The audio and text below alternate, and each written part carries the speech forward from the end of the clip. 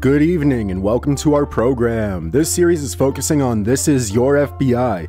This Is Your FBI was a radio crime drama which aired in the United States on ABC from April 6, 1945 to January 30th, 1953 for a total of 409 shows.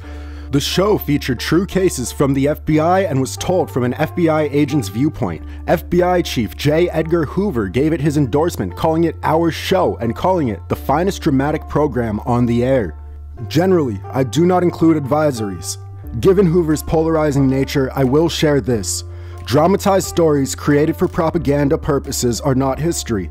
They tell one biased side of the story, and in no way am I saying that these are reliable stories.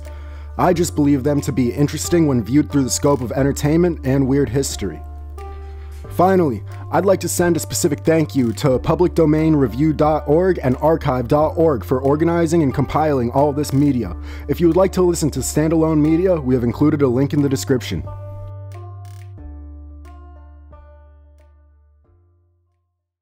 The Equitable Life Assurance Society presents This is Your FBI.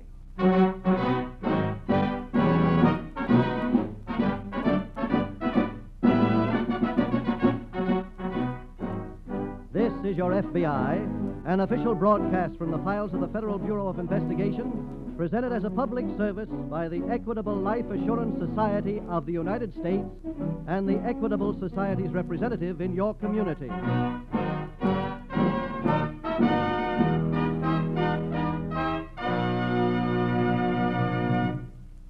Are you one of the 50 million Americans covered by Social Security? If so, have you any clear idea of your rights and benefits under Social Security? Well, there may be a pleasant surprise in store for you. For in a few minutes, you will learn from our sponsor, the Equitable Life Assurance Society of the United States, how easy it is to build Social Security into full security.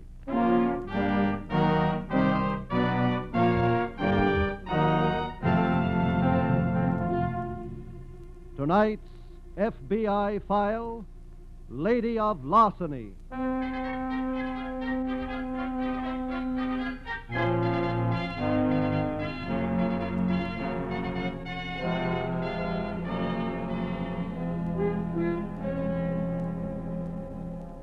The criminal of necessity lives by his wits.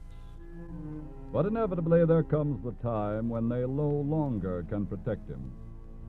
For the criminal's habits and methods are, almost without exception, as unchanging as the spots of a leopard. And though he be cunning and ingenious enough to escape justice today, he leaves behind him, as in tonight's case from the files of your FBI, the blueprint for his certain defeat tomorrow.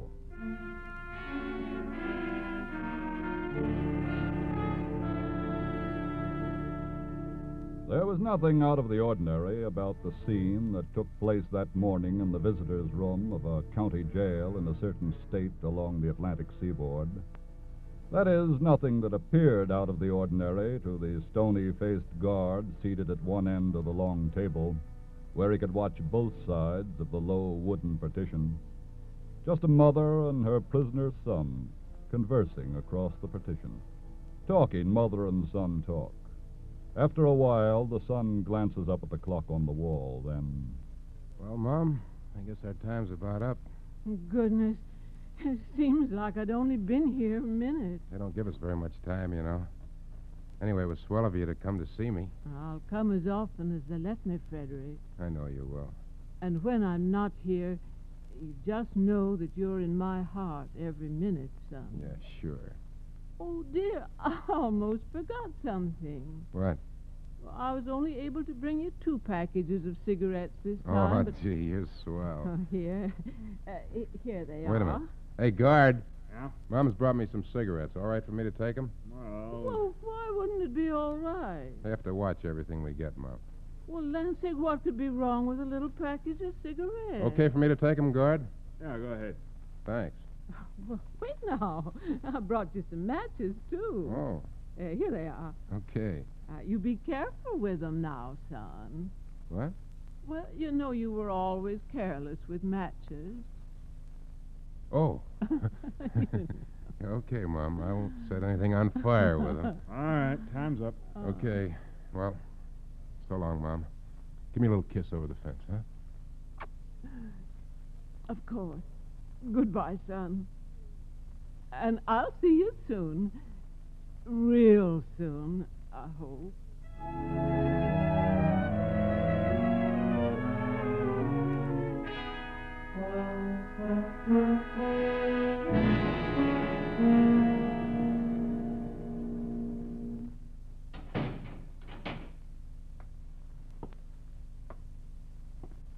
Whitey? Huh? Whitey. Sorry, kid. I didn't know you were sleeping. That's okay. It's your old lady show. Yeah. I just left her. Want a cigarette? Okay, Here you are. thanks. What was new with her? That's what I'm going to find out right now. What do you mean? This book of matches here. Yeah. That's our communication system. Huh? See this little staple that clamps the matches and the book together? Yeah. This one was put in by Mom. I don't get it. Wait till I yank it out and I'll show you. There. Now pull this scratch flap back. Yeah. Separate the two layers of matches. Uh-huh. And down at the bottom here, there should be a message. Well, I'll be... Quiet, stupid. What does it say? Everything's set for tonight. No kid. Yeah. What's the deal? We make the break at 10 o'clock. Mom will be waiting for us outside in a red Packard ambulance. Ambulance? Yeah. That's real smart. Nobody will stop us in a wagon like that. Well, who's making the break? There'll be eight of us all together. Did the other guys stay with us? No, we split up four and four. Hey, I wonder where your old lady got an ambulance. Listen, kid. If we needed it, that old gal could heist a ferry boat.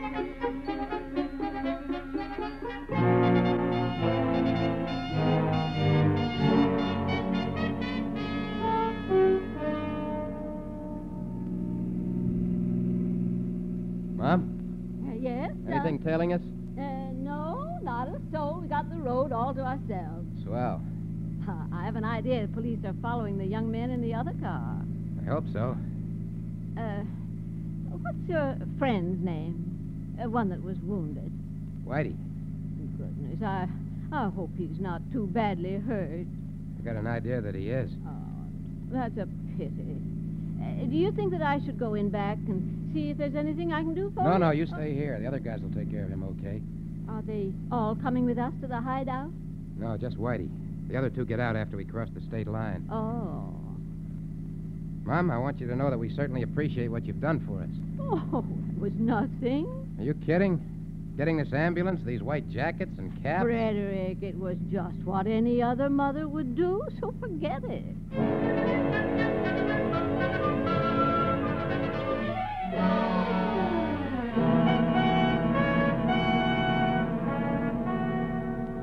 Two hours after the prison break, deputies overtook and captured the four men who had gotten away in the other car. But Fred Taylor, the wounded Whitey Monroe, and their companions were still at large. Convinced that they had crossed the state line after killing a guard, prison officials telephoned the local field office of the FBI. A few minutes later, Special Agents Norman and Perry were searching the cell which had been occupied by Taylor and Monroe for some possible lead. Well, Perry, they seem to have taken whatever effects they had with them.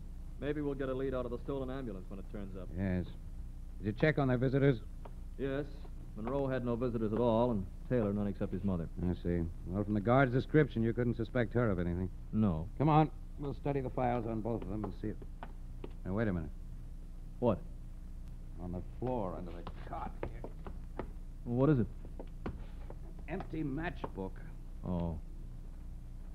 Bottom staple has been pulled loose and the whole match section is gone. You got a book of matches there? Uh, yes, right here. Pull the staple loose, will you? Okay.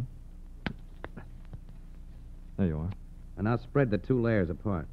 Right. If you wanted to smuggle a message to somebody, that'd be a good place to write it, wouldn't it? Yeah, sure. Now look at their empty matchbook. staple is still partly in place, but look at this. Yes, a couple of other little holes. Right. Looks like the original staple was taken out, something written or inserted inside, and then the book was restapled. Well, what do you know? Under the microscope in the lab, we'll be able to find the tool markings on the staple of the machine that stamped it in place. What'll that tell us, though? Maybe nothing we want to know right now, but maybe an awful lot later on.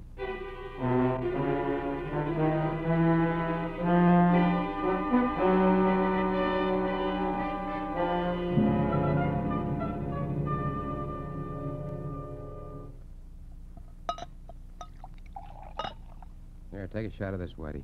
Okay, Fred. How do you feel, kid? Not so hot. Well, we got the slug out of you anyway. So by morning you ought to be feeling better.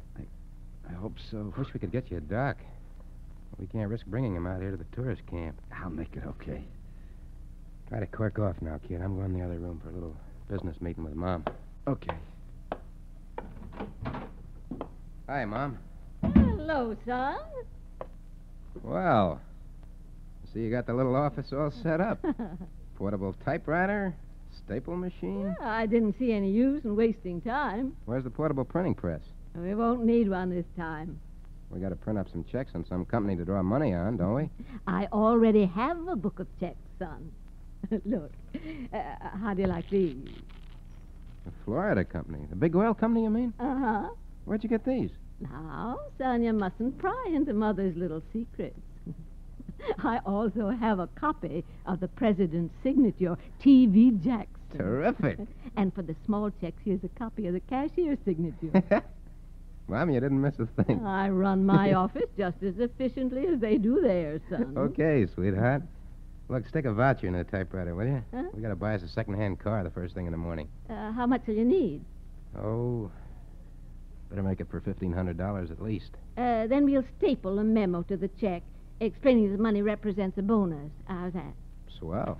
Uh, yeah, and instead of making it for fifteen hundred even, I'll uh, well, I'll make it fourteen hundred seventy-two dollars and eighty-three cents. That'll sound more legitimate. That's my mom. Oh, oh, one thing, son. Yeah. I want you to be careful when you go to buy that used car. There are a lot of crooks in business these days.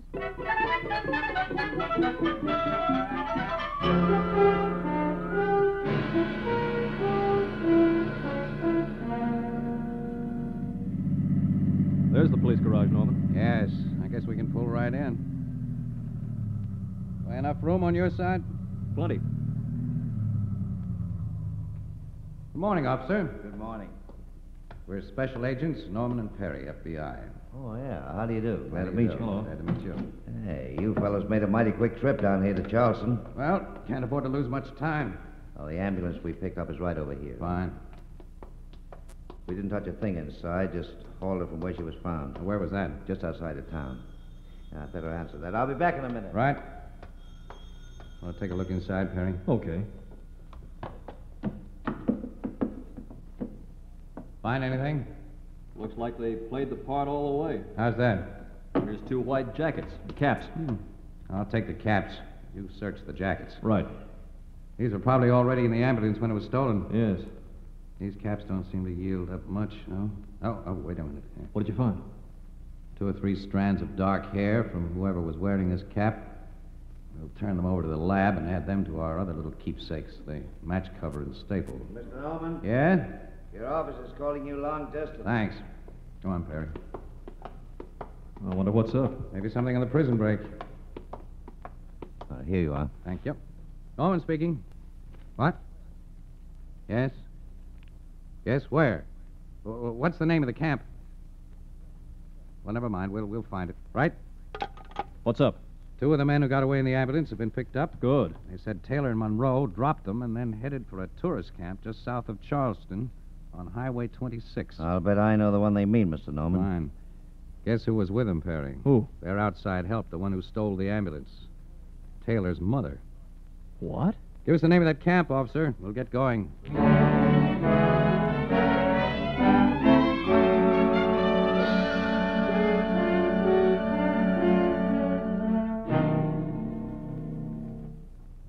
Mrs. Taylor, Uh, yes, young man. where's Fred? But oh, he went into town What for? to buy an automobile. Taking chances, ain't he? With the police? he? Yeah. Oh, I'm sure they don't suspect that we're within a hundred miles of here. What's with the car? Are we moving on? Well, yeah. Oh, uh, just a minute. Who is it? It's me, Mom. Oh. Well, come on in, son. Thanks. Did you did you find the car? Yeah, I got us a real good one. Splendid. Fred, Yeah, Whitey. are we pulling out of here? Yeah. Mom, you better go in and pack. Uh, but don't you think I that... want to talk to Whitey alone. Oh. Uh, very well.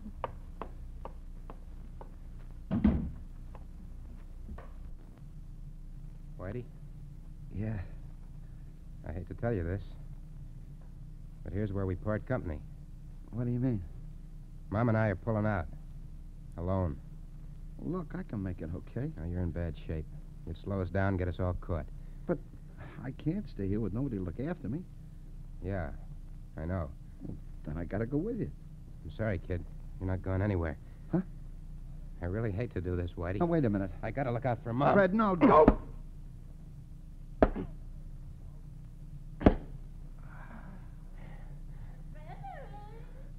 Coming, Mother.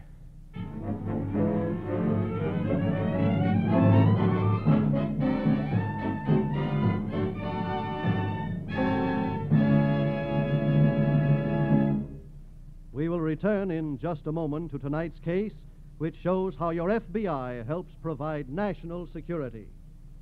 Now, let's eavesdrop on a conversation about Social Security between a man named George Leland and his friend, the Equitable Society representative.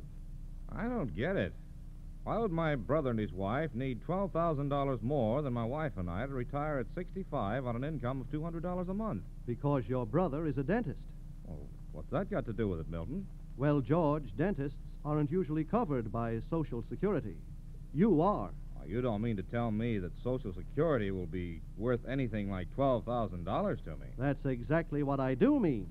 When you and your wife get to be 65, you'll be entitled to an annuity from Social Security that, at present rates, would cost $12,000 in cash.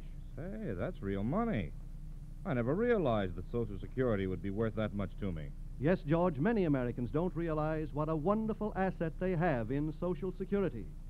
They have never discovered how easy it is to build Social Security into full security through life insurance. Most people are amazed when they discover how little it costs. For instance, if you already own some life insurance, your Equitable Society man may be able to show you how only a few dollars extra per month will give your wife complete protection and assure you a comfortable retirement income through the Equitable Extended Income Plan. Remember, your Social Security benefits vary according to your age, salary, and family situation. So why not get the facts? Find out exactly what you are entitled to under Social Security. The government has prepared a special card that will help you secure this information. To obtain one of these cards, get in touch with your Equitable Society representative or send your name and address on a postcard to the Equitable Society, care of this station. That's E Q U I T A B L E, the Equitable Life Assurance Society of the United States.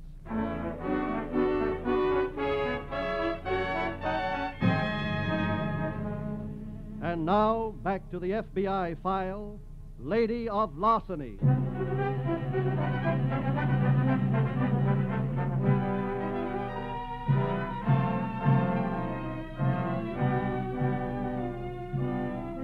Much has been written about honor and loyalty among thieves, but none of it is borne out by the facts. Criminals are without a sense of honor, else they would not be criminals.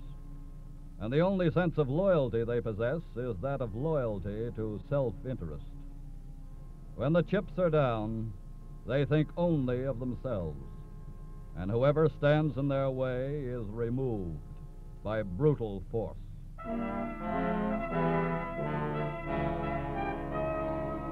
It was not more than 30 minutes after Fred Taylor cruelly bludgeoned the wounded Whitey Monroe and drove away with his mother that FBI agents Norman and Perry pulled into the tourist camp and were directed by the owner to the right cabin. Try the door, Perry. Well, it's unlocked. Let's go in.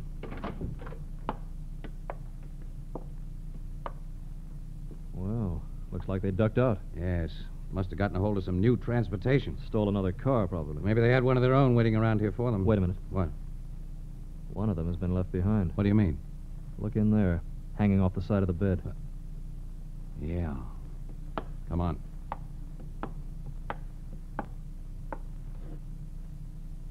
He's the one that was wounded. Look. Uh huh. Whitey Monroe. Oh. The blows on the head are what he got for being in the way, I guess. Nice couple, Taylor and his mother. Yeah. Well, look around and see what you can find, Perry. I'm going to have a talk with the owner of the camp and then put in a long distance call to our office.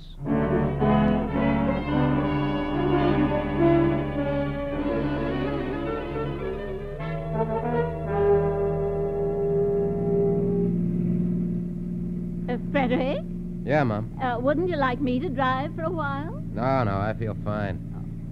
Uh, you know, I've just been thinking about that unfortunate young man. Whitey? Yes. What about him? Well, I had quite a talk with him when you went in to buy this car. Yeah? He was looking forward so to taking this trip with us. He'd never been to Florida. Look, Mom, are you trying to make me feel like a heel? Oh, of course not, son. Oh, you did the right thing. I. Well, I just feel sorry for anyone missing scenery like this. Ow! Ow! What's the matter? Oh, I just jabbed myself with this crochet needle. What is that thing you're making? Huh, a doily What's it good for? to put under a plate. Well, we ain't got a plate. Well, we're going to have. In fact, we're going to have a lot of plates and a home to go with them. Homes cost money, Mom. Yeah, I know. We're never going to make any big bundle cashing these nickel and dime checks. Yeah, I realize that, too. That's why we're headed for Palm Beach. What do you mean? We're going to make one big score and go under for a while. How? Guess who's vacationing at her Palm Beach home? Who? The wife of the president of the Florida Company, Mrs. T.V. Jackson. So what? Well, we're using Florida Company checks, aren't we? Yeah? Well, Mrs. T.V. Jackson, uh, who won't know about it, of course, is going to help us cash one of her husband's company checks for $10,000.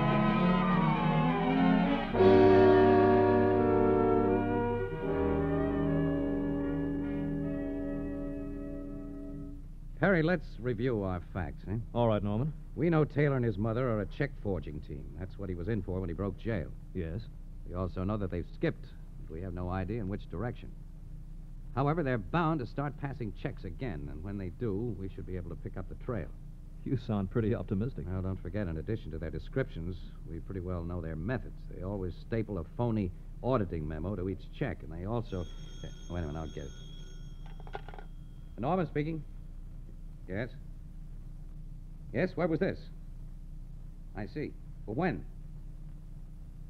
Uh-huh. Uh, give me the dealer's name, will you? Right.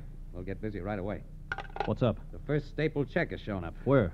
A man posed as a sales agent of the Florida company with a big bonus check. He passed it right here in Charleston three days ago for a used car. Well. The check was drawn on the Florida company's bank, which received it yesterday and refused payment. Does the car dealer know about it yet? No, but I have his name. You'd better hop over and see him. Okay. Uh, get a description of the man who passed the check. Right. Also, find out the license and the make of the car.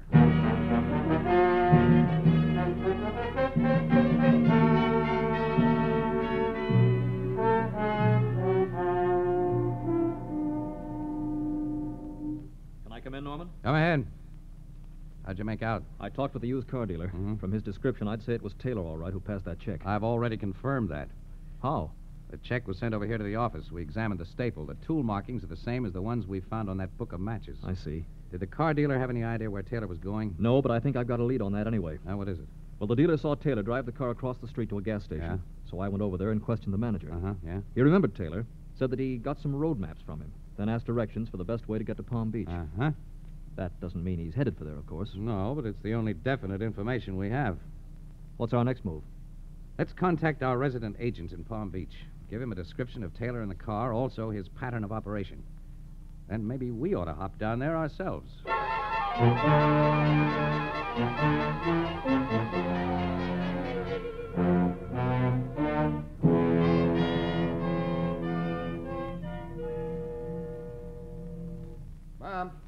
Mom. Shh, quiet, son. I'm on the telephone. Oh. Uh, uh, now, what was that you were saying, young man? Oh.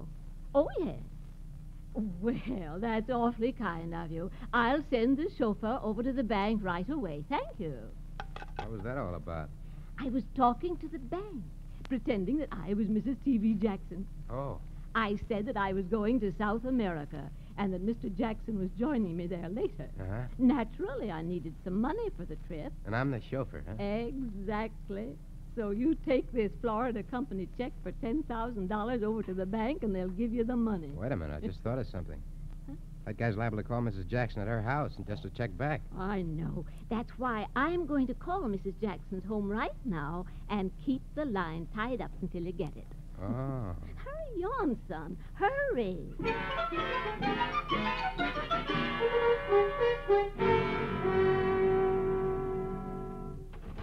Okay, Mom. We're in. Well, good work, son. He had all that beautiful green stuff ready when I walked into the bank. Splendid. Now we can ditch our hot car, buy us a nice cool one, and then lamb out for a good place to go oh, under. I'll certainly be happy to do that. All right. Huh? Don't make a move. What? Either one Who are of you? We're special agents of the FBI. No, no, no, wait a Covering minute. Perry. Right. You might be interested to know that the reason you got that money so easy, Taylor, was because our resident agent had already warned the bank. Huh? We could have picked you up there, but we wanted you to take us to your partner, too. Well, son, it looks like our firm has been liquidated again.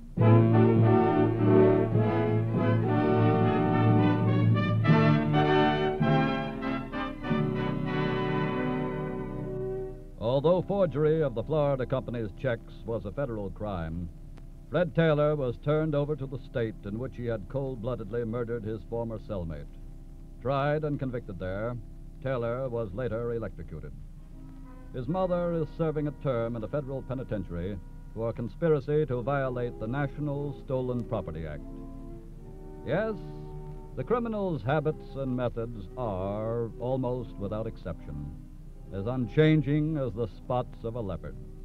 And though he be cunning and ingenious enough to escape justice today, he leaves behind him the blueprint for his certain defeat tomorrow.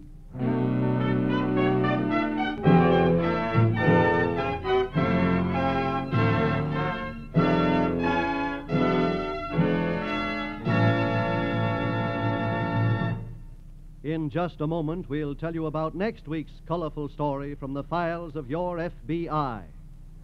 And now, once again, friends, let me remind you that no matter how much you earn, you have a valuable asset in Social Security.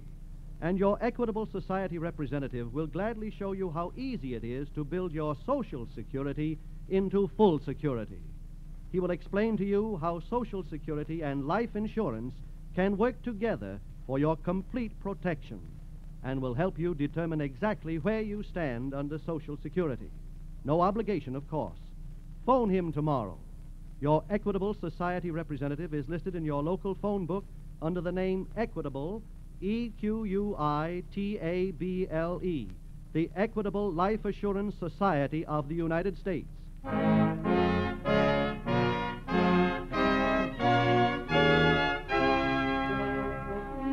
Next week, we will bring you another colorful story from the files of the Federal Bureau of Investigation The Friendly Hitchhiker.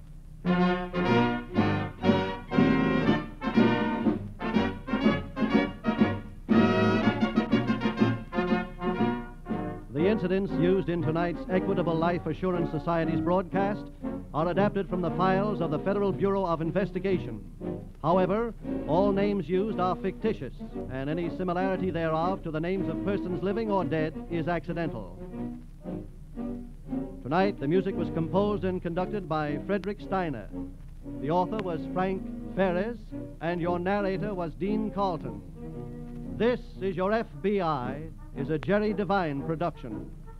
This is Milton Cross speaking for the Equitable Life Assurance Society of the United States and the Equitable Society's representative in your community, and inviting you to tune in again next week at this same time when the Equitable Life Assurance Society of the United States will bring you another colorful story from the files of the Federal Bureau of Investigation The Friendly Hitchhiker on This Is Your FBI.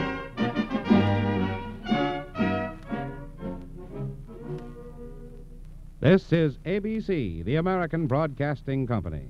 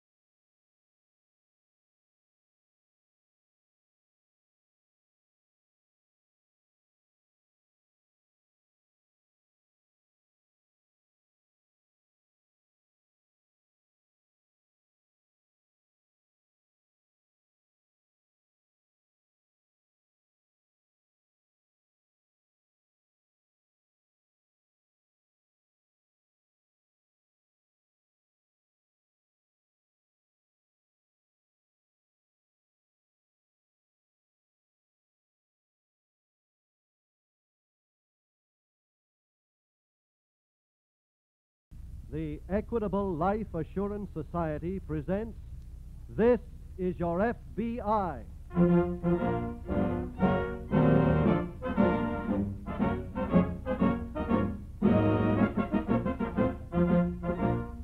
This is Your FBI, an official broadcast from the files of the Federal Bureau of Investigation, presented as a public service by the Equitable Life Assurance Society of the United States and the Equitable Society's representative in your community.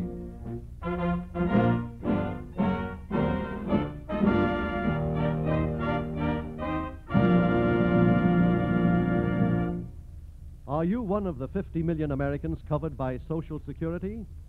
If so, have you any clear idea of your rights and benefits under Social Security? Well, there may be a pleasant surprise in store for you.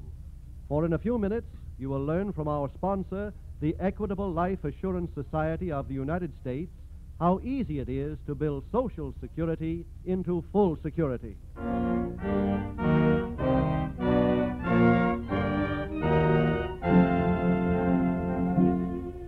Tonight's FBI file The Friendly Hitchhiker.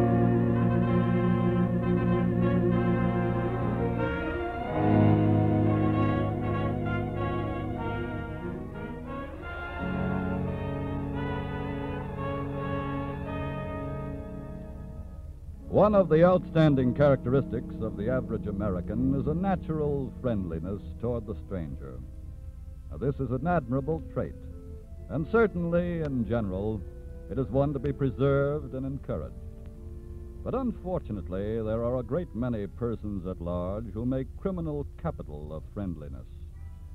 And there are many occasions, such as in tonight's case from the files of your FBI, when it is wise to avoid the stranger altogether.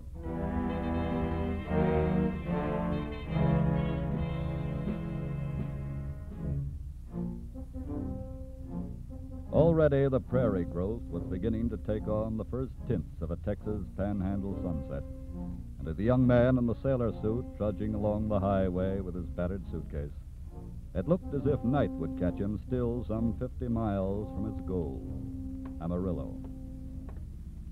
Unless this car that's coming down the highway stops. All right, bum, do your stuff.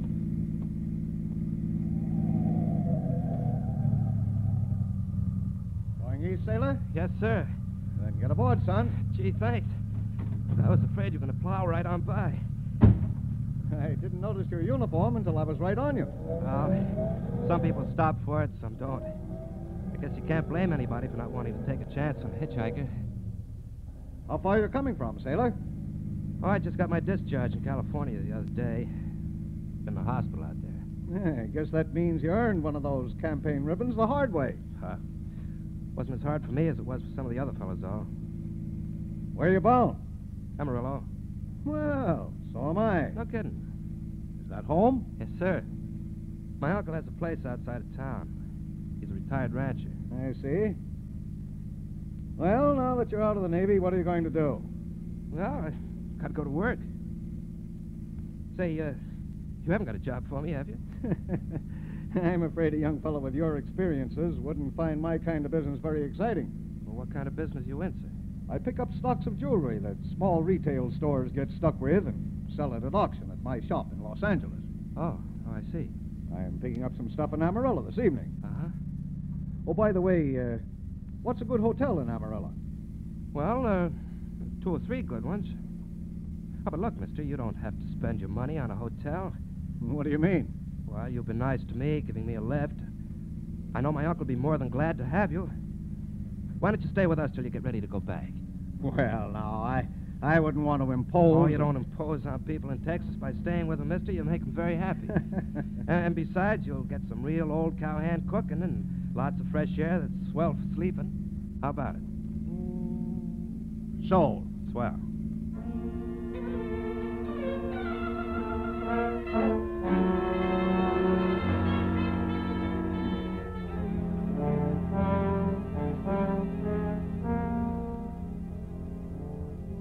Some 300 miles back west, and shortly before the hitchhiker was picked up, Special Agents Allen and Burnett of the FBI's Los Angeles office, engaged in a manhunt, landed at the Albuquerque airport in response to a police report.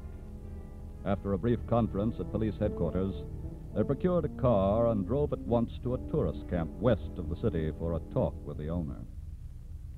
Well, gentlemen, that picture sure looks like the young fellow that stopped here last night, all right.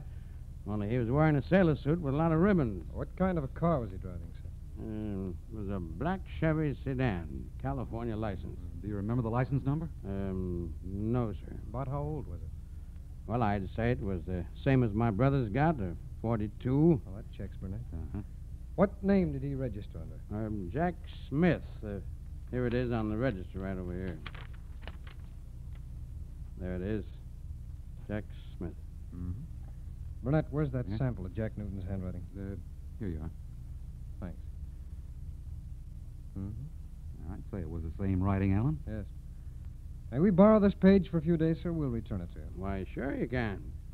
Uh, his real name is Newton, huh? Well, the man we're looking for used the name of Jack Newton. He jumped his parole in Los Angeles two days ago. Got a sailor uniform, some ribbons, rented a car, and took out with it. Well, We put out a general police alert as soon as the car was reported missing, but we were just a little too late with it to nail him here. Well, what time did he leave, sir? well, he didn't pull in till around daylight, slept till about noon, then took off. And that gives him about a six-hour start on us. That's well, right. if he kept on east on this highway, could have made Amarillo by now. May I use your phone, sir? Why, certainly. Help yourself. Well, what's our move, Allen? We'll notify Amarillo to spread a 300 mile alarm, then head for there ourselves.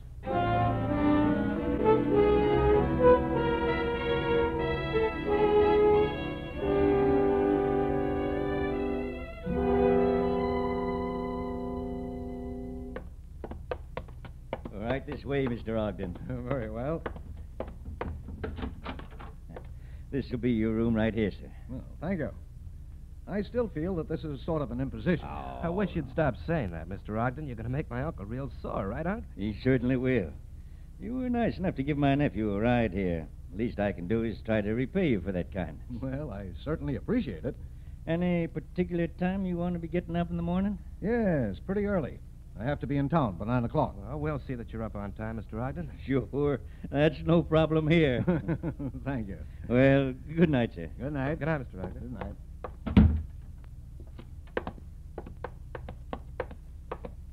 Now, Jack, suppose you give me the tally on all this. Wait till we get out of range. Okay.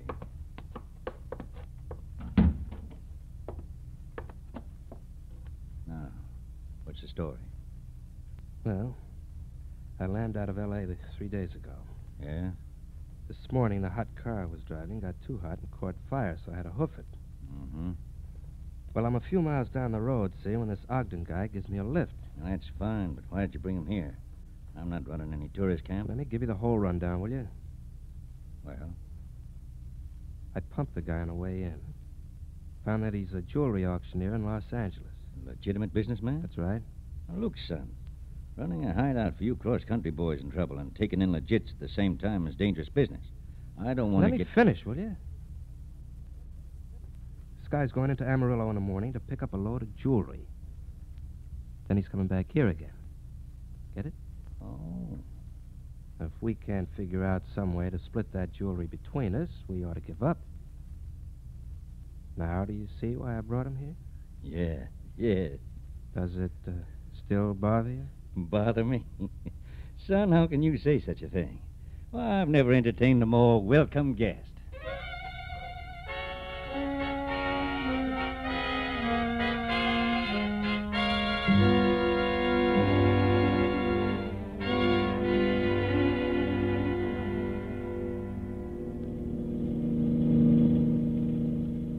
Well, we've knocked off 240 miles of it, Allen. Yeah, that leaves about 50 more to Amarillo.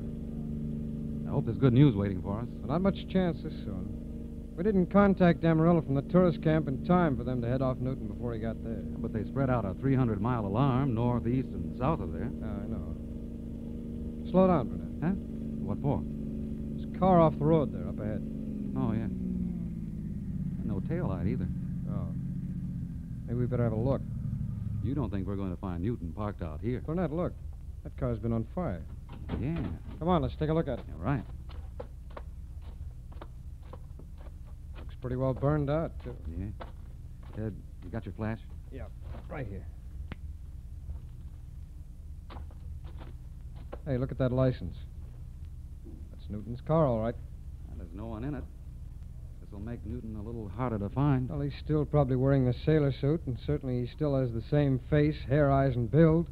And if he's on foot now, that could slow him down a lot. I hope so. He might even be somewhere around Amarillo right now. Well, let's take a quick look around here and then drive in there and find out.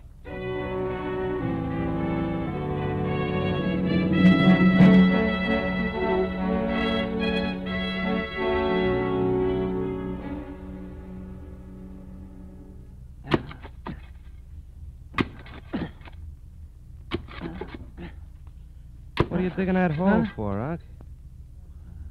Looking for oil? Son, I told you to stay in the house and keep a lookout for Ogden. He's not back from town yet. What's with the digging? Well, to tell you the truth, this is something special for him. What do you mean? Well, we can't take his jewelry and let him go, can we? What? That'd be all right for you, 'cause you're pulling out, but I'm not going anywhere. I'm staked out right here, and he could have the law on me in no time. Yeah, but if you bump him Look, off. Who'd ever think he was buried in the hole down back old man Fillmore's corral? I'm a respectable citizen in these parts, huh? Yeah, sure, but just the same. Hold on. Listen. There's Ogden now. Just pulled into the drive. Come on. Let's get back to the house. That you, Mr. Ogden? yes. Uh, Jack and I is down to look after the stock a little. Oh? Have to treat him like babies, you know. yes, I'll bet you do. And come on up to the house. Very well. Did you get your business in town taken care of all right? Yes, all done. You mean you got that suitcase full of jewels? well, not quite full. kind of dangerous traveling with them, I'd think. But I reckon you packed a gun with you. Yes, but thank goodness I've never had to use it yet. Now, go in, sir. Go in. Thank you. Go ahead, Jack. Thanks. Well, reckon you might as well set your jewels down right here in the kitchen, Mr. Ogden. I beg your pardon? Look, it's me that ought to be begging your pardon instead of you begging mine. But I guess we won't make any ceremony about it. I'm sorry, I don't understand. Well, now, maybe this will be more convincing. All right, son. Take his gun off him and any identifying papers that might be in his pocket. Yeah, sure. I'll take a look in this suitcase. Hey, must be a fortune in jewels in here. No kidding. Find his gun? Yeah, yeah, I got it. Let's look at all this Unc. Huh? You slugged Ogden with that blackjack. Yeah? The cops found Ogden's gun in his hand. They might figure he shot you just before he passed out, right? I suppose they would if that was the case, but. What do you mean, son? I mean, this way I get all the jewels in Ogden's car, too. No, wait a minute. You can't do it. You know what? Maybe there would have been room for both of you in that hole.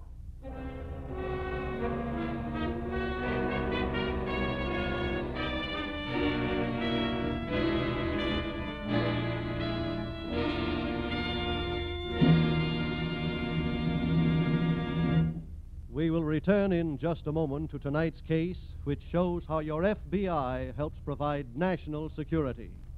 Now, let's listen in on a conversation about Social Security between a high salaried executive and his friend, the Equitable Society representative. Well, frankly, Milton, I've never given much thought to Social Security. I suppose it's a good thing for the man who earns $40, $50 a week. But when you get a lot more than that, it's pretty much small potatoes, isn't it? I don't know, Paul. Is $8,000 small potatoes to you? Of course not. But what's $8,000 got to do with Social Security? Look, Paul, when you get to be 65, it will cost you $8,000 at today's rates to buy an annuity that would give you the same retirement income you'll get under Social Security. And $8,000 is a lot of money. Well, I'll say it is. When you put it that way, Milton, Social Security is an asset to any man, whether he makes $50 a week or 500 Yes, many Americans don't realize what a wonderful asset they have in Social Security. They have never discovered how easy it is to build Social Security into full security through life insurance. Well, that's a job that we representatives of the Equitable Society are always glad to undertake. For instance, if you already own some life insurance, your Equitable Society representative may be able to show you how only a few dollars extra per month will give your family complete protection and assure you a comfortable retirement income through the Equitable Extended Income Plan. Remember, your Social Security benefits vary according to your age, salary, and family situation. So why not get the facts and find out exactly what you are entitled to under Social Security? The government has prepared a special card that will help you secure this information. To obtain one of these cards, get in touch with your Equitable Society representative or send your name and address on a postcard to the Equitable Society, care of this station. That's E Q U I T A B L E, the Equitable Life Assurance Society of the United States.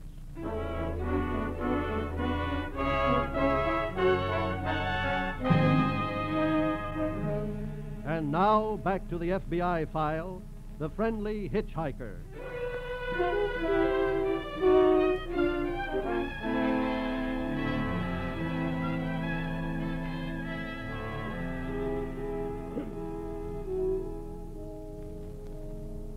There are hundreds of honest persons in and out of uniform hitchhiking along the highways of America today. But the safest policy for any motorist is this. No matter when or where you see a hitchhiker's thumb, keep right on going. It may cost you no more than time to stop, but in thousands of cases it has cost a lot more.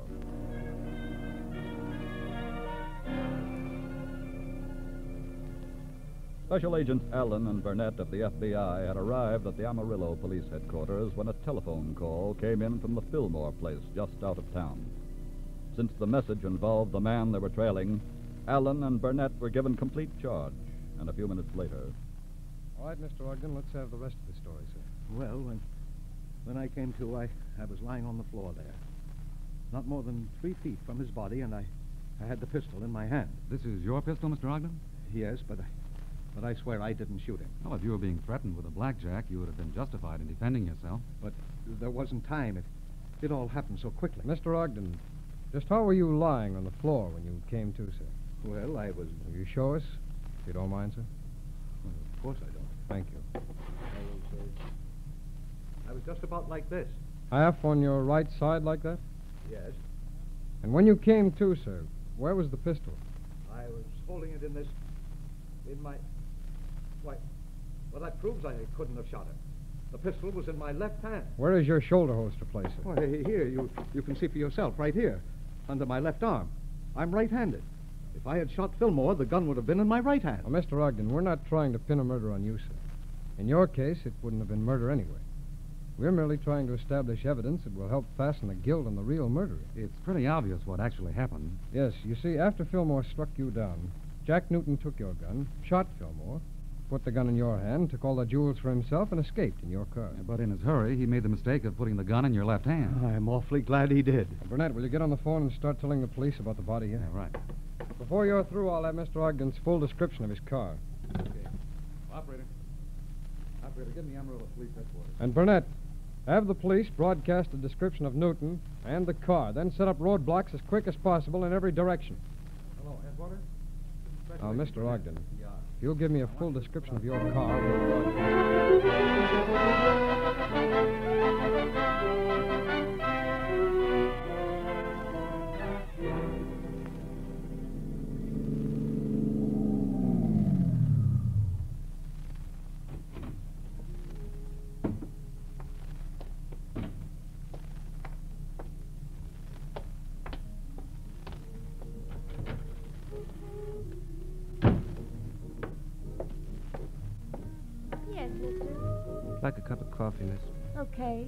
Cream and sugar? No, just black.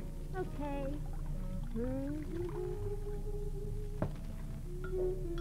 There you are. Thanks. Like something with that? Uh-uh. Any jelly donuts? I don't want nothing. Okay. Which way you traveling? Why? Making conversation. Heading east. Oh. Well, the reason I asked was if you're going to be on the road tonight, you'd better look out. For what? For what I heard on the radio. What are you talking about? It was an FBI broadcast. What? They said everybody should be on the lookout for this man that just murdered somebody in Amarillo. They say what he looked like? Huh? They said he was about 25 years old and had brown hair and kind of greenish eyes and might be wearing a suit. What do I owe you? Well, well, you only had coffee. Yeah. Well, well, wait a minute. You get some change. Keep it. Probably scared him. Tell him about that. Wait a minute. Brown hair, green eyes, sailor. Oh. Hey, operator, operator.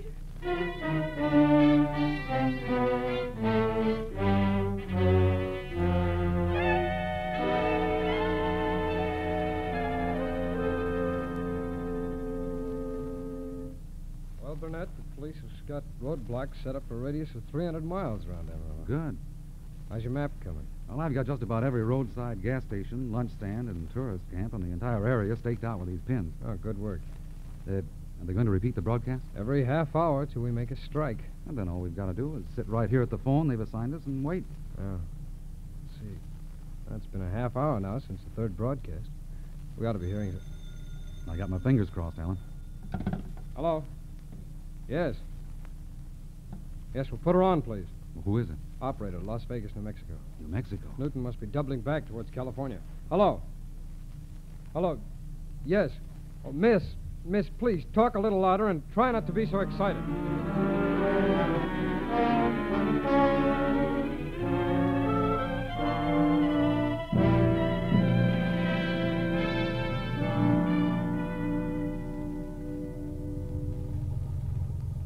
All right, boys.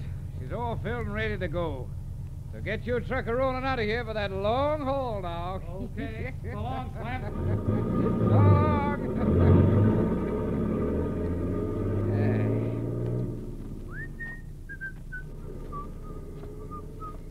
Hello.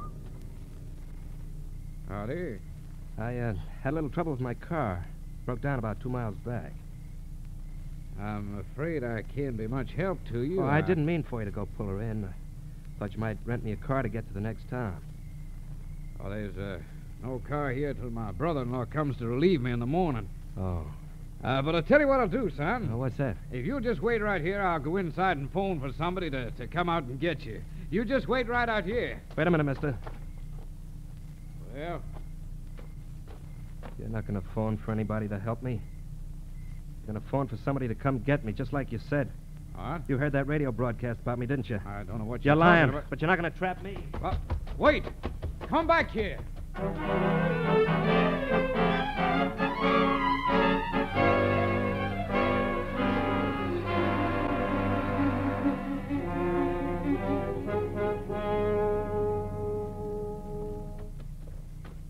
Hello there. Right this way, fellas. We're the special agents of the FBI. Say, you fellas didn't come all the way from Ar- Amarillo since I phoned. No, we were already on the trail and called in, got your report. Well, he ain't missed a more than an hour, and he's on foot besides. Good. Uh, which way did he go? Well, he lit out running hard as he could down the road going west. Well, you can't afford to keep to the road long. No, he'd get lost out there on that desert. A desperate man will take any kind of chance. Of course, he might stumble onto them caves off over there. Oh, where's this, sir? Oh, about three miles across the flats where the hills begin. Burnett, let's see if we can pick up where he turned off into the desert. Right. If you do, you hadn't ought to have no trouble tracking him across that red sand. That's what I figure. Come on, Burnett.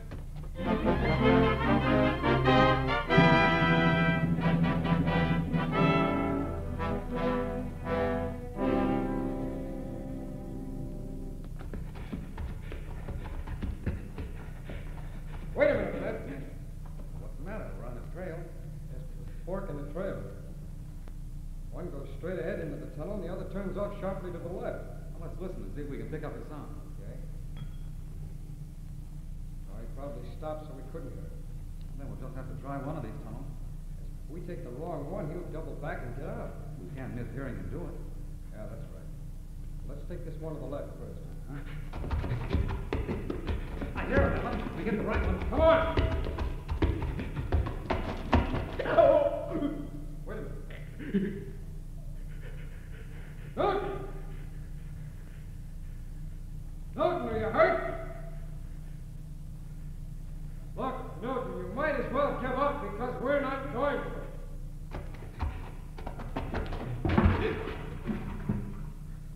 You hear that, Burnett? Yeah. With the rock falling into that pool of water down below. Newton, you better give up now or you might fall in that rock down there and never get out of here. Stay where you are, or I will follow that rock. Don't be a fool, Newton. I'm warning you. Don't come after me, or I'll take the jump.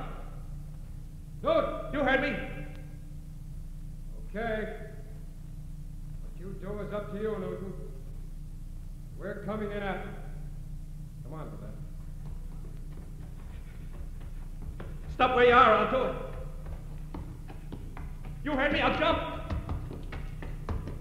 Uh, I'll jump, I tell you. Keep away. Keep away from me.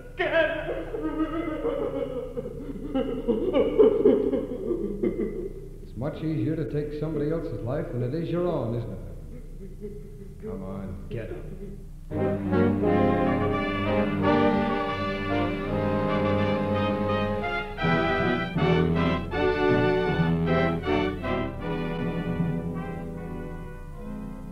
Jack Newton was returned to the state of Texas to stand trial for the murder of Robert Fillmore. He was found guilty and sentenced to life imprisonment. As mentioned earlier, the average American's natural friendliness is an admirable trait, and one to be preserved and encouraged.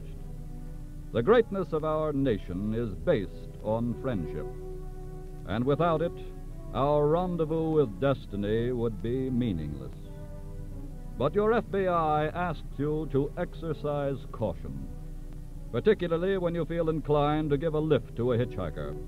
The files of your FBI reveal case after case proving that the safest policy with hitchhikers is to keep right on driving.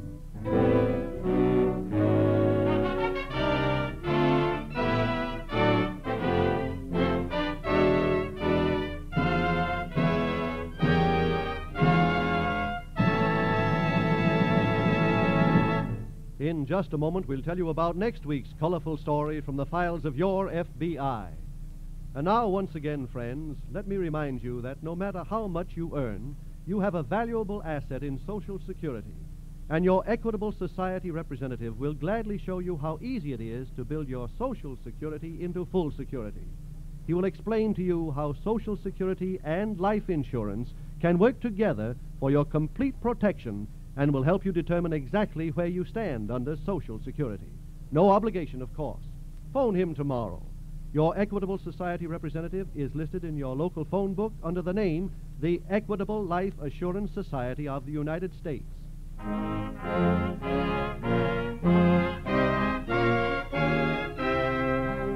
Next week, we will bring you another colorful story from the files of the Federal Bureau of Investigation, the Careless Kidnappers. The incidents used in tonight's Equitable Life Assurance Society's broadcast are adapted from the files of the Federal Bureau of Investigation. However, all names used are fictitious, and any similarity thereof to the names of persons living or dead is accidental. Tonight, the music was composed and conducted by Frederick Steiner. The author was Frank Ferries, and your narrator was Dean Carlton. This is Your FBI is a Jerry Devine production. And now, this is Milton Cross speaking for the Equitable Life Assurance Society of the United States and the Equitable Society's representative in your community, and inviting you to tune in again next week at this same time when the Equitable Life Assurance Society of the United States will bring you another colorful story from the files of the Federal Bureau of Investigation The Careless Kidnappers on This Is Your FBI.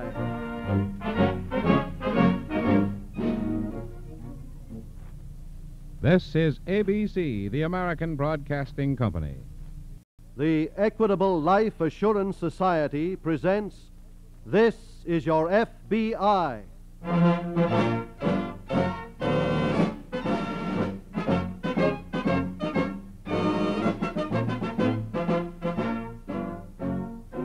This is Your FBI, an official broadcast from the files of the Federal Bureau of Investigation, presented as a public service by the Equitable Life Assurance Society of the United States and the Equitable Society's representative in your community.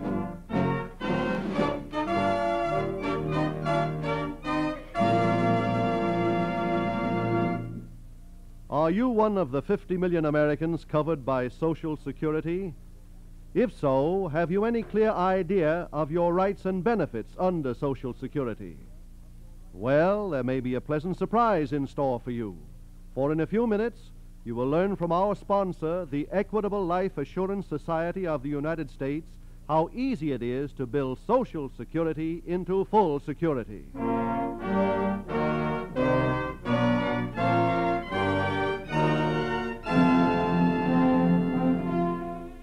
Tonight's FBI file The Careless Kidnappers.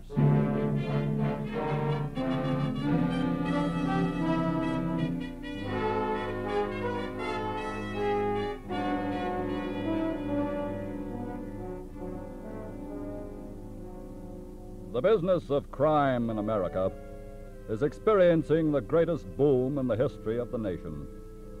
It has no problem of manpower, for today, one out of every 23 persons in America has an arrest record.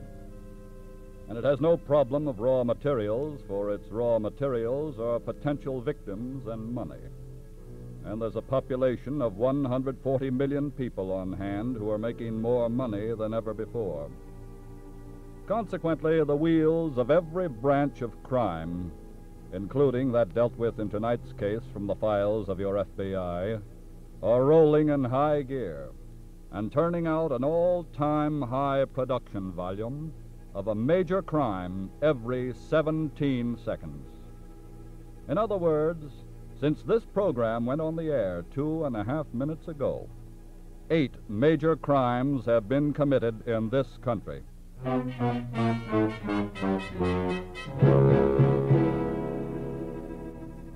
Pearl Bedford was, you might say, one of the most even tempered persons in all the world. Unpleasant all the time. And her disposition is being far from sweetened at the moment by three things the stifling mid afternoon heat, which is making a furnace of the Chicago apartment, the sight of her husband sprawled on the couch, and the brassy trumpeting of Satch, an unemployed friend who has been sharing the apartment. Pearl paces the floor, then suddenly stops and addresses her husband. Listen, stupid. Yeah, honey? I want you to go across the hall and stuff that bugle down that guy's throat. I will when I get tired of it. He's been blowing his brains out for an hour now. I like it. I don't. Oh, quit beefing, will you? I'll stop beeping when you get out and get us some money. Look, don't start that again. Well, what are you waiting for? Woods are full of suckers with dough, and everybody's getting their share. Everybody but you. I am not interested in nickels and dimes. Oh. Oh, pardon me. When I make a score, it's going to be a big one. Well, you're not going to make it laying around oh, there. Shut up. I will not shut up. Okay, okay. Where are you going? Going in to see Satch, where it's peaceful. Who's there? It's me, Broadway. Come on in. Satch. Yeah? Play some more, will you? Play loud. Mm-hmm. You've been Reuben again? Yeah. What was it this time? Well, for one thing, Pearl don't appreciate your efforts on the trumpet, Satch. No kidding. Well, look, down at the casino, they're paying Hot Lips Hanover 7500 a week for the same kind of efforts. Paying him how much? 7,500 pieces of that beautiful green stuff. It's a lot of money every week. It's a lot of money, never mind the time limit. Hey, uh, Satch, Yeah? I guess this Hanover character would hate to stop working right now, wouldn't he? While he can make that kind of dough? Hey, look, if I was making that kind of money, I. What do you mean? You come up with any idea yet how we can make a big touch? Ah. I think I have. Get Pearl in here. What for? I'm going to show her how lucky we are that you've been playing that trumpet.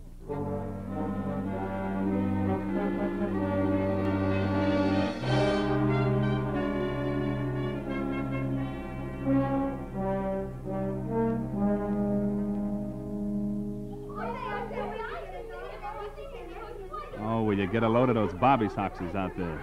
Broadway, you're taking a chance parking right in front of the stage door. Quit beefing, will you? Satch, Yeah? you sure you're right about Hot Lips Hanover playing that benefit tonight? Yeah, as soon as he finishes his last show here, he's going right over to the Lakeside Hotel. If he can get through those kids around the door. Here he comes. Here comes Hot Lips now. All right, take the wheel, Satch. Make room in the back seat, Pearl. I'll go get him.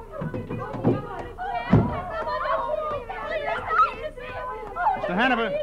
Mr. Hanover! Yeah? I'll see if I can get you away all in one piece. I beg your pardon? The car's waiting right over here. The car? Did they tell you they were sending somebody over from the benefit to pick you up? No, no, they didn't tell me. Mr. Hanover, can I have your autograph, please? No, not right now, honey, not right now. That's please. what we're here for. Come on. Hold on to me. Let's see if we can make it to the car. All right, let's go. All right. Come on. All right, Yeah. let's through it. Will you, kids? Come on. Excuse me, kids. Excuse me. Please. All right, get in, Mr. Hanover. Yeah. Take it away, Satch.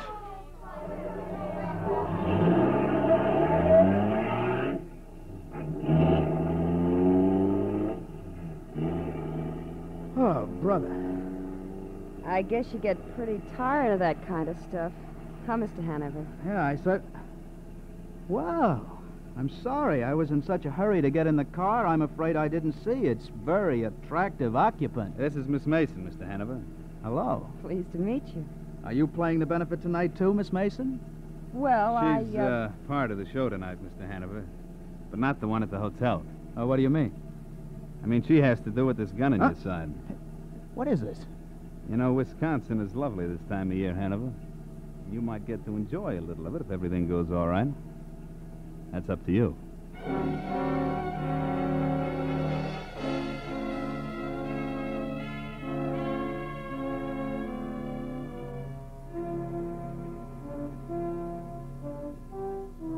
It was shortly before noon the next morning when a little man with a big cigar dashed into the Chicago office of the FBI, where he was ushered into the presence of Agent in Charge Dixon and told his story excitedly. And here's a ransom note, Mr. Dixon. It just arrived in the mail about 20 minutes ago, and I came over with it right away. I'm glad you did. They want $25,000. What are we going to do? Well, our first concern is the safety of the victim. Now, you say Hanover got in a car with someone outside the casino club last night. Yes, but he didn't show up at the hotel for the benefit, and that's the last anyone saw of him. Have any idea who he drove away with? Well, the man on the stage door heard somebody say that he had come over to pick Hanover up. Any description? No, See what kind of car it was? no. He didn't suspect anybody of anything. I'll get the ransom note off to Washington by airmail right away to have it checked for clues. Well, how about the 25000 You're instructed in the note to put an ad in the local paper, letting them know you're willing to meet their terms, You, you mean I'm willing? Aren't you? Yeah, yeah, sure, Well, then, but... for the uh, sake of Mr. uh, Hanover's safety, and to make it possible for us to go directly to work on the case, our advice is to meet the ransom terms as quickly as you can.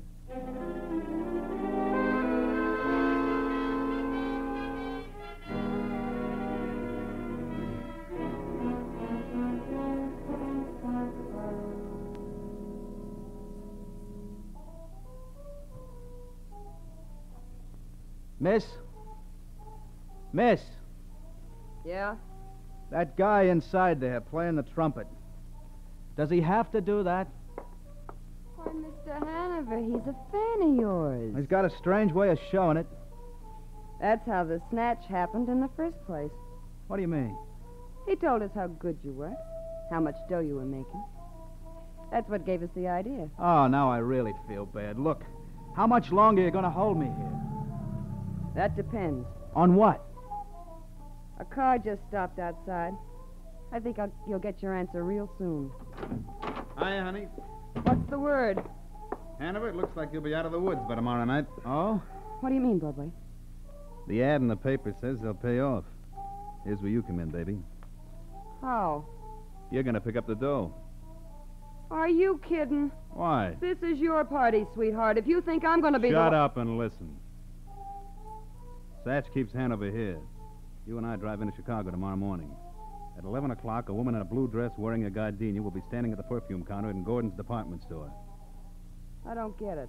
You'll be standing next to her. When she leaves, she'll accidentally drop her bag. You pick it up and start after her, but instead of catching up with her, you go out the other way and bring the bag to me in the car.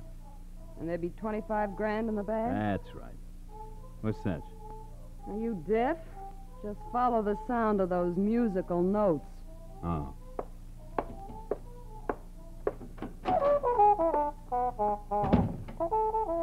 Satch. Yeah? Satch, you sure you can trust that brother of yours in Des Moines? Sure, he's a 100%. Been running a hideout for three years. Never lost a customer. Okay, then go back inside and write him a letter. Tell him company's coming. Okay. I'll mail it in the morning in Chicago.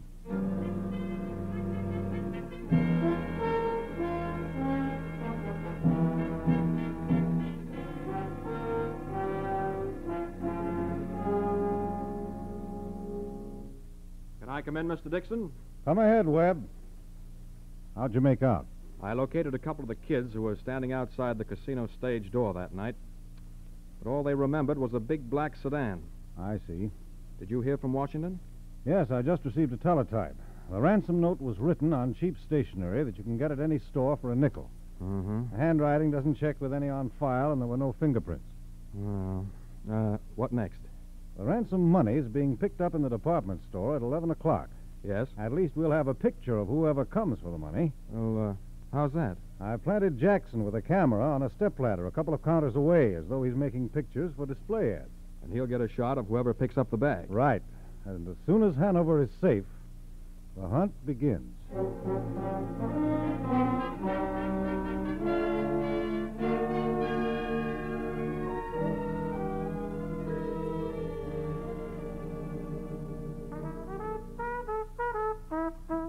Satch!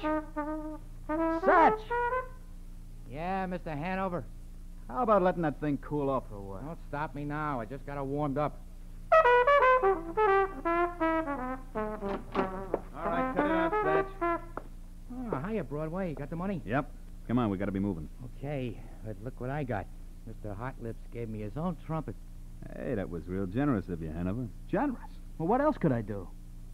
Satch, you didn't threaten I to... never threatened nothing. I just asked the man to give me his horn for a sort of parting gift, and he said no, so I started doing a little whittling with my knife. Yeah, yeah, I get it. Hanover, I'll have to blindfold you again. I'm used to it by now. Okay, here you go. There, that's got it. That too tight? No, let's get started. Come on, Satch. Okay. Broadway, Yeah? tell me about the dough. What about it? You get the whole 25000 Sure. Hey, that ain't bad. 25000 divided by three. That's a nice hunk for me. Over eight G's. Uh-huh. Where's Pearl? Over there in the car. Is she gonna beef? About what? About cutting me in for a third. Ah, she ain't gonna beef about nothing. It don't sound like Pearl. Get behind the wheel, Satch. You drive. Okay. Should we head right in for. Hey, What's the matter? look at Pearl. Well? no wonder she can't beef. She's dead.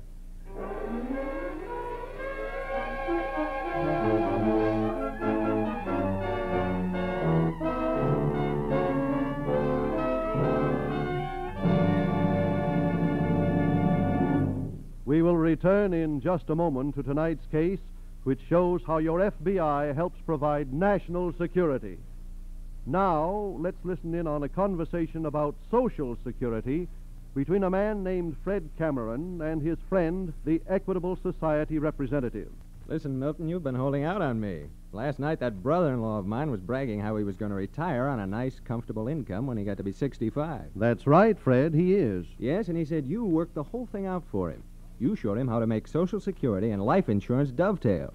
He said it was amazing how little it costs to build Social Security into full security. That's what we Equitable Society representatives are always saying. Well, why not say it to me? You're supposed to be my friend, too. All right, Fred. With your two children, ages five and three, your Social Security is equivalent to about $13,210 worth of life insurance. And that makes a mighty good foundation on which to build full security. I'll say it does. Let's hear some more. Yes, Fred, most Americans are amazed when they find out what a valuable asset they have in Social Security, when they discover how easy it is to build Social Security into full security through life insurance. For instance, if you already own some life insurance, your Equitable Society representative may be able to show you how only a few dollars extra per month will give your family complete protection and assure you a comfortable retirement income through the Equitable Extended Income Plan. Remember, your Social Security benefits vary according to your age, salary, and family situation. So why not get the facts? Find out exactly what you are entitled to under Social Security. The government has prepared a special card that will help you secure this information. To obtain one of these cards, get in touch with your Equitable Society representative or send your name and address on a postcard to the Equitable Society, care of this station. That's E Q U I T A B L E, the Equitable Life Assurance Society of the United States.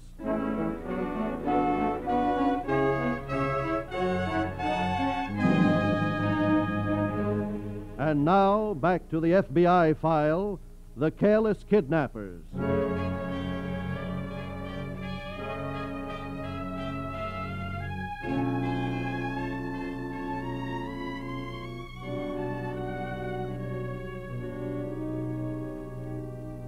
Through its policy of waiting until the victim is released, your FBI severely handicaps itself in the task of apprehending the kidnappers. But the safety of the victim comes first, and strict adherence to its rule of waiting has meant, in scores of cases, the difference between life and death for the victim.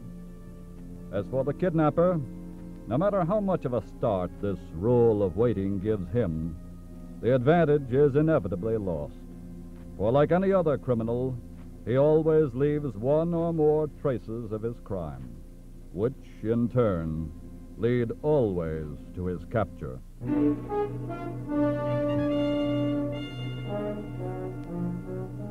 Released by his kidnappers shortly after dark in a suburb of Chicago, the victim, Hanover, identified himself to a passing police patrol and was driven swiftly to the city to FBI headquarters, where he gave an account of events up to the time of his release. I was still blindfolded when they put me out, so I was unable to get a good description of the car. They've probably gotten rid of it by now, anyway. But the body of that woman was still in the car. They've probably gotten rid of that, too, Mr. Hanover. Mr. Hanover, we have a picture here of the woman who picked up the ransom money. One of our agents snapped it in the department store. Here it is. Uh huh, that's her, all right. They call her Pearl. We haven't been able to identify it yet with anybody in our files or at police headquarters. I see. Webb, Yes? get a teletype off to Washington right away on those nicknames. Uh, Broadway and Satch? Yeah, that's right. Washington may be able to find something on them in the nickname file. Right. Mr. Hanover, you said we might be able to find the cabin where they held you. Yeah. They blindfolded me, of course, before we got out of Chicago that night. Uh huh. But after a while, the blindfold slipped a bit. And I remember seeing that we went north after passing through Kenosha. Yes? Then they discovered the blindfold had slipped and fixed it back. Oh? But about 15 minutes later, we passed over a wooden bridge. I could hear the planking rattle. Uh huh. I got a sudden idea. As soon as we were off the bridge, I snapped on the second hand on my wristwatch here. It's a stopwatch model, you see. Oh, yes. We turned right. And when we stopped at the cabin, I stopped the watch. Good. But when they took the blindfold off, I noticed that we had traveled four minutes and 28 seconds from the bridge. Good for you. I wish all kidnapped victims would be that alert. Now, how fast was the car traveling, would you say? Well, Broadway kept warning Satch to hold the speed to 35 miles an hour because of the highway police. Uh huh. Hanover, this may be the lead that helps crack the case, if we can find that cabin.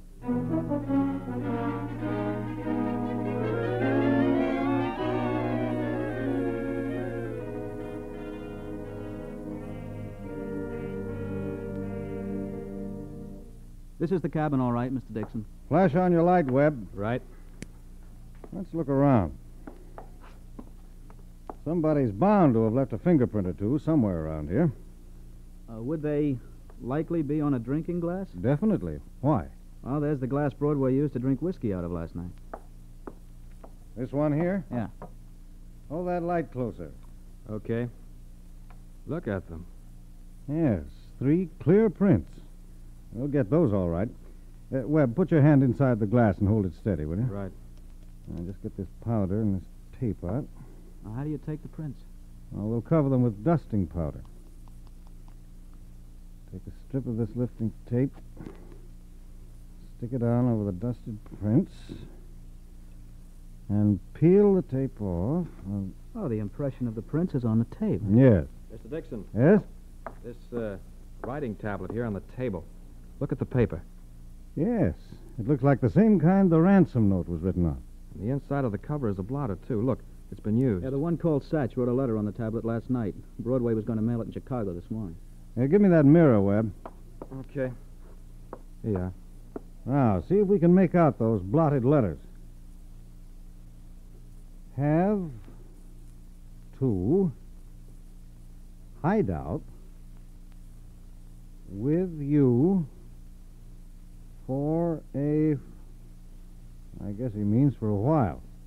That looks like part of an address down a little farther. Uh huh. Des Moines. Des Moines, Iowa. I can't make out the rest. Well, that's enough to start us on our way to Des Moines, though. Right. But let's get back to Chicago first and see if we can identify these prints.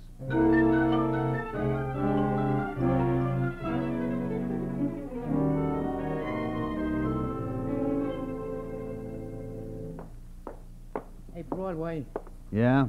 you see my trumpet? It's under the couch. What you doing there? I put it there. Why? I couldn't take any more of that playing. You just don't like music. Not that kind of music. Well, you're unhappy because you got lots of money and you can't get outside to spend it. Yeah, maybe that's it. How long do you think we ought to stay here with my brother? Till the heat's off. How long will that take? Another ten days or so. Oh, that's a long time. Wish I had my Hanover records out here so I'd have something to play against. That's all we need. Wait a minute. Hmm? I just thought of something. What? The radio. They should be playing them on one of the stations out here. Hey, give me my trumpet.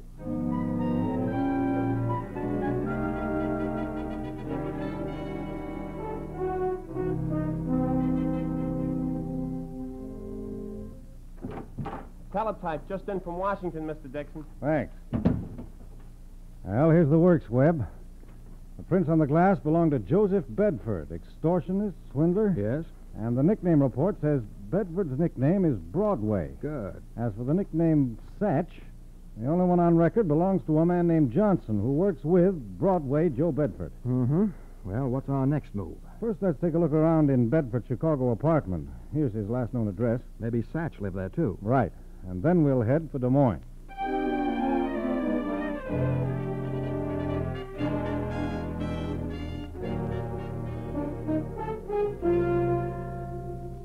What luck, Webb?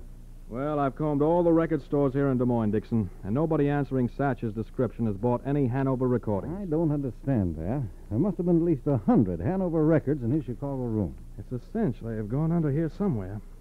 If only the rest of that address had come off on the blotter. Well, anyway, the photos of Broadway and Satch arrived here by air a little while ago. We won't have any trouble identifying them when we Wait do a find minute. Got an idea? Hanover said wherever we found Satch, we'd find him playing that trumpet. Yes, but And he's got to have a recording to play against. And for Satch, it's got to be a Hanover recording. he hasn't bought any here. Maybe he wouldn't have to buy any. What? It's a long chance, but it's one worth trying, and it just might pay off for us, too.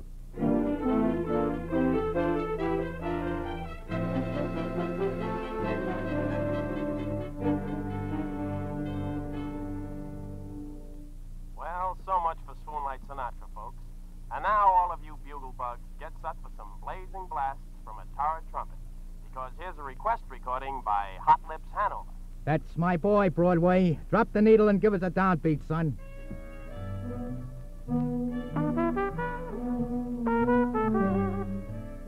Satch, could I throw a little bribe money at you?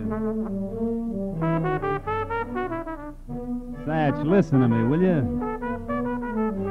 Satch, You say something, Broadway? I'll give you 50 bucks for that trumpet. Hey, look, this horn is a Hot Lips Hanover original, remember? Okay, hijacker, I'll give you 50 bucks to stop playing just for five. Cut off that radio. What's the idea. Sorry to break up the party, boys, but we're special agents of the FBI. What? You're both under arrest for kidnapping. And there's an extra charge of murder for you, Bedford. A car with your wife's body in it was just found a while ago. Okay. How did you find us? Well, we figured since you didn't bring any Hanover recordings with you, and since you didn't buy any in Des Moines, you might be requesting some to be played in the recording broadcast. Huh? So when your call came in, we had it traced here to your brother's house. Give me that horn, Satch. Hey, look out, Broadway. What are you going to do? Broadway! Never mind. You won't be needing it anyway.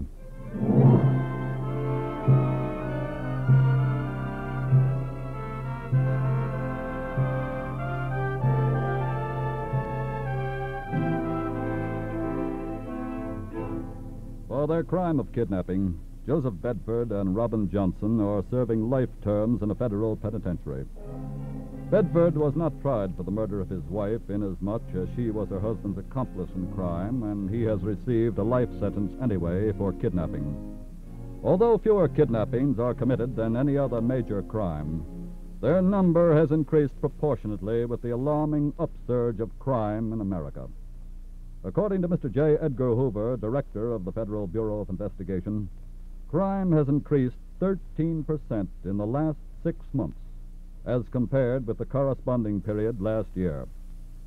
In a crime survey just compiled by your FBI, we find larceny up 9.8%, aggravated assault 10%, auto theft 15.5%, burglary 17%, negligent manslaughter 19.2%, murder 28.5%, and robberies have increased 31.8%.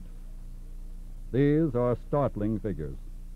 Figures that call for a doubling of effort on the part of all of us, so that this present crime wave shall not become a tidal wave, engulfing you, the American people.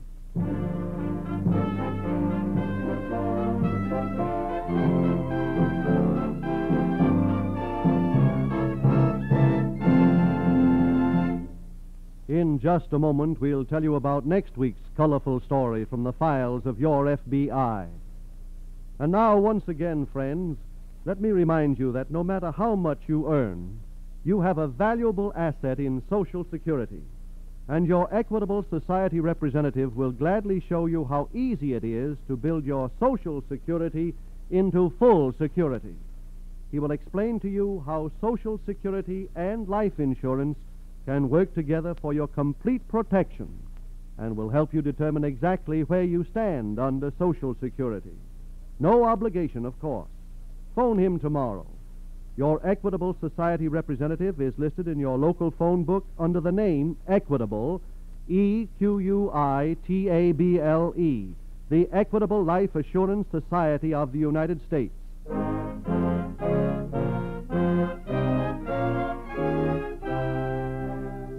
Next week, we will bring you another colorful story from the files of the Federal Bureau of Investigation The Return of the Mob.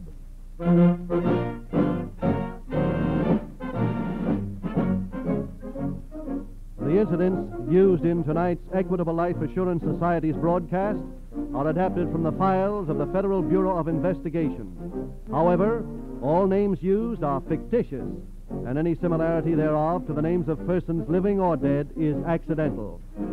Tonight, the music was composed and conducted by Frederick Steiner. The author was Frank Ferries, and your narrator was Dean Carlton. This is Your FBI is a Jerry Devine production. This is Milton Cross speaking for the Equitable Life Assurance Society of the United States and the Equitable Society's representative in your community and inviting you to tune in again next week at this same time when the Equitable Life Assurance Society of the United States will bring you another colorful story from the files of the Federal Bureau of Investigation The Return of the Mob on This Is Your FBI. This is ABC, the American Broadcasting Company.